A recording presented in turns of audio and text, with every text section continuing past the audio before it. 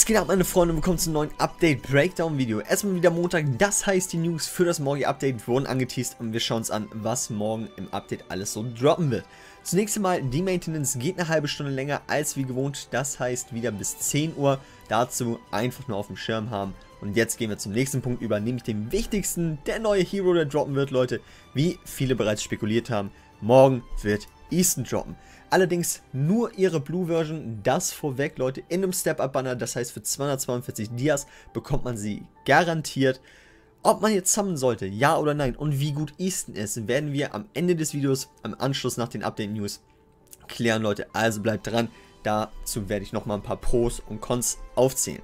So, nächstes Event, ein richtig gutes Growth-Event, Leute, denn wir bekommen überdurchschnittlich viele SSR-Pendants feiere ich mega, denn aktuell bin ich etwas broke, was Pendants angeht, deswegen die sieben Stück nehme ich auf jeden Fall mit. Costumes natürlich, neuer Char, Eastern Water Goddess Costume wird available sein. Das ist dann wahrscheinlich das, was man kaufen kann für Real Money und dann auf Long Term ähm, nach den zwei Wochen einzeln ongoing kaufen kann. Allerdings, Leute, gibt es noch alternativ im Puddingpoo Event Exchange Shop ein komplettes Costume Set OR für Easton, was man sich ertauschen kann. Das war auch wirklich so der Indiz dafür, nämlich dieser vierte Reiter in diesem Tauschshop mit den Fragezeichen.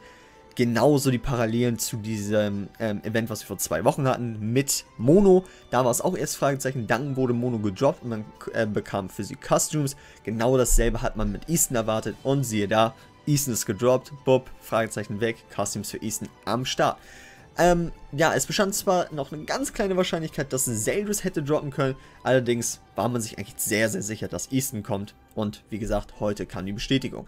Auf jeden Fall mitnehmen Leute, denn Free Costumes lässt man sich nicht gerne entgehen. Nächster Punkt.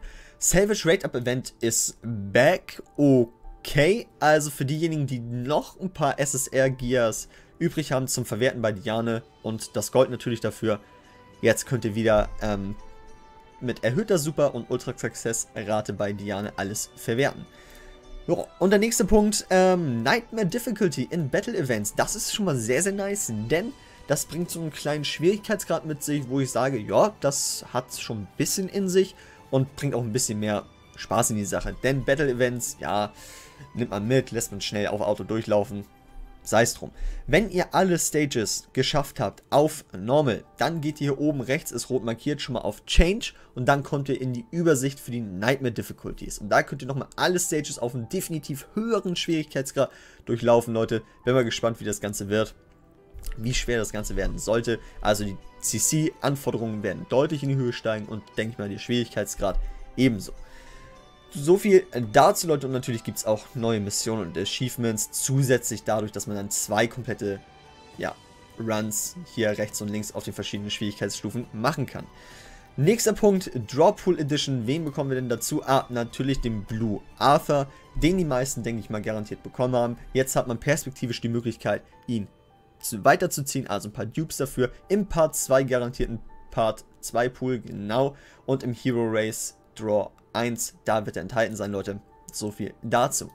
Neuer Char, das heißt Engravings UR Gear für Easton am Start. Ähm, Phrygia, ähm, falls ich den jetzt richtig ausgesprochen habe, ich sehe die Roast schon kommen, sei es drum, ähm, werden UR-Gear bekommen. Easton perspektivisch wirklich etwas, mit dem man sich auseinandersetzen sollte. Aktuell allerdings nicht so wirklich, gehe ich gleich nochmal drauf ein. Endende Events und Bundles, Leute, man kennt es. Wichtig ist, benutzt eure Halb-Anniversary Eve Draw Tickets, also mit dem Banner vor Los Meliodas, ähm, mit Arthur, weil sonst werden die Tickets einfach verkauft für 100k Gold. Also einfach machen. So, dann gab es einen Fix bei einem Bug mit Cat Melios mit seinem Counter. Long Range, Short Range war mir nicht bewusst, allerdings wurde das jetzt gefixt. Okay, so viel dazu. Wichtiger Punkt, denke ich mal auch für die meisten. Leute, der Code für die Box lautet diese Woche Knights. Hier habt ihr einmal eine Übersicht für alle Sachen. Festival, Lost, Vayne Melee, Assassin, Thanks, Knights. Knights aktuell heute und da bekommen wir einmal den Nunchaku-Bahn drin. Ähm, ja, womit ich ihn eigentlich auf 6.6 machen könnte, allerdings noch am überlegen bin, muss ich mal schauen, ob ich das mache. Auf jeden Fall, der Code ist Knights. So, und jetzt gehen wir auch mal zur Analyse von Easton über und zur Empfehlung Pullen, ja oder nein. Erstmal wurde sie bereits auf der SDG Database Seite in A-Tier gerankt. Und da würde ich sie persönlich auch wirklich einranken, ähm, ob jetzt ja Top, Mid oder Low A-Tier. Sei es drum, auf jeden Fall ist sie halt ein vernünftiger und guter Char, den man auch perspektivisch gerne hat. Was macht sie so gut? Unter anderem ist sie ein von der primären Rolle her ein Blue-Type Supporter. Ihre Passive macht sie etwas tankiger, ähm, denn sie increased ihre Basic Stats um 5% pro Buff auf den Allies und Enemies. Und das bis zu 5 Mal, also plus 25% Basic Stats, ist schon mal sehr, sehr nice. Ihr erster Skill, AOE Damage gesehen, füllt ihre Ult Gouge ab Stufe 2, plus 2 ab Stufe 3. Ihr zweiter Skill, Increased Attack-Related Stats, genau dasselbe, was der Green Hellbrand macht. Attack-Related Stats umfassen Attack, Pierce Rate, Crit Chance und Crit Damage, 15, 20 und 30%. Also ein sehr, sehr guter Buffer, vor allem als Blue-Type, sehr was Neues. Ihre Ult kann schon sehr, sehr gut reinschallern, denn sie macht Spike Damage, also doppelten Crit Damage mit einem vernünftigen Multiplier, AOE gesehen mit 350%, sehr, sehr cool, also nimmt man auf jeden Fall mit ihre Basic Stats und das gepaart mit den ähm, Buffs und mit ihrer Ult. Crit Damage um 140%, Crit Chance um 25%, die Chance relativ niedrig, aber der Damage umso höher. Vernünftige Stats, Leute, also sehr, sehr gute Tanky-Build, kann man auf jeden Fall machen. Sehr guter Supporter, vor allem wenn man zum Red Demon mitgeht, Leute, sie bufft halt. Wir haben aktuell keinen guten Blue Buffer, deswegen ist sie für den Red Demon absolut perfekt, vor allem für die Hellstufe. Und generell ist sie eigentlich der beste Supporter im Spiel. Nochmal deutlich eine Stufe höher als Green Hellbram. Den nimmt man halt einfach nur mit, weil man es teilweise muss und nicht, weil man es gerne möchte. Sie ist ein Char, ja, den möchte man eigentlich schon ganz gern perspektivisch. Also, guter Supporter, Punkt 1. Punkt 2, für die Demons sehr, sehr gut. Und Punkt 3, ihre UR-Costumes für ähm, ihre spätere Version, für die Green Version, die extremst strong ist, Leute, die ist richtig gut deutlich, deutlich besser als ihre Blue Version. Allerdings ähm, ist die Blue Version trotzdem immer noch ganz gut.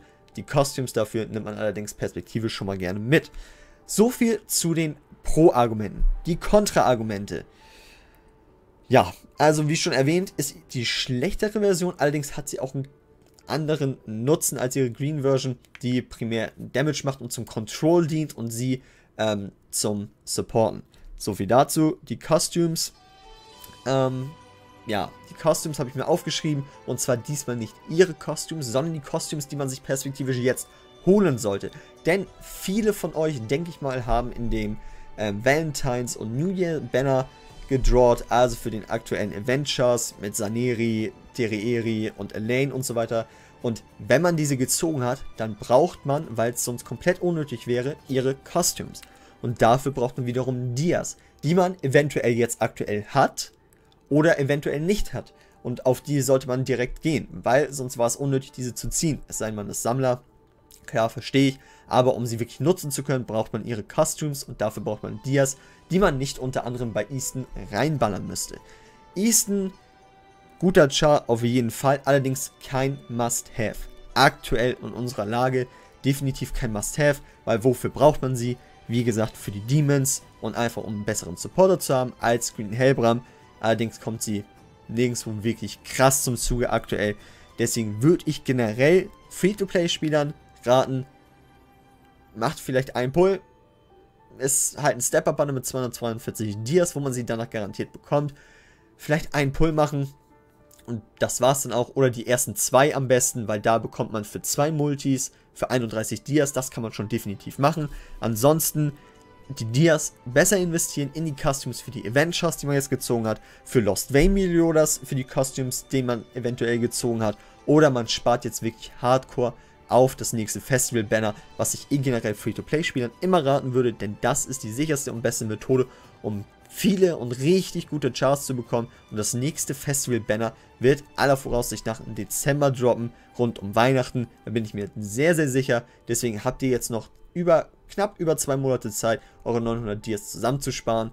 Also wenn man es auch rein rechnerisch betrachtet, kriegt man die 900 Dias easy zusammen als Free-to-Play-Spieler und alles, was darüber hinausgeht, kann man halt entweder verrollen in einem Banner, wo man sich persönlich sagt, ah, will ich unbedingt, oder halt in Costumes investiert, um seine Kampfkraft zu pushen oder die Effekte für die neuen Event-Chars freizuschalten.